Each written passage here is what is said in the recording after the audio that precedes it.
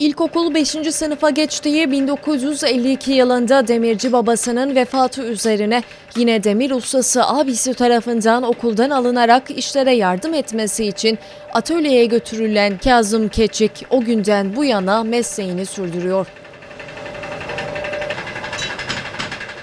İlerleyen yaşına rağmen çekicini elinden bırakmayan Keçik, civar köylerden vatandaşların getirdiği balta, kazma, keser, tırmık gibi aletlerin tamirini yapıyor.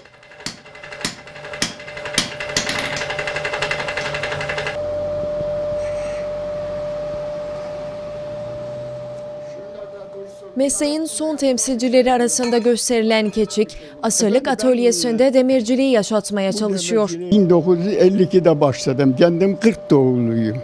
Okula gitmedik. Okuldan aldı. Burada körük çekmeye başladım ben. Devam ettik. Sene 52'den beri devam ediyor sanatta. Dükkan devam ediyor abi. Aynı dükkan. Tabii o zaman dükkan değişikti. Şimdiki gibi değil. İşte biraz daha camlı oldu, bir şeyler oldu. Biraz daha çalışmak kolaylaştı yani. Ben burada fazla çalışamıyorum. Zaten zamanımız geçti.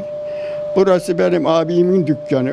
O menfaat gittikten sonra ben de bu sanatı bildiğim için eş dost geliyor bazen.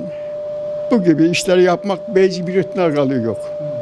Çünkü bir de şu var, insan elinden gelen bir işi yapmazsa bunu Allah da sorar, o dostunu da sorar. Yani onun için elimizden geldiği kadar çalışmaya, yardım etmeye devam ediyor.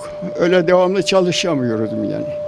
Valla devam ettirmek Allah'a mahsus bir şey kalıyor. Onu bizim iş elimizde değil yani. Allah ömrümüzü verirse, sağlığımızı, sıhhatimizi verirse devam ettiririz.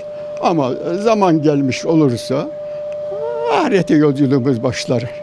Tren, şimdi biz trende bindik gidiyor yani. Ama hangi durakta duracağımız belli değil.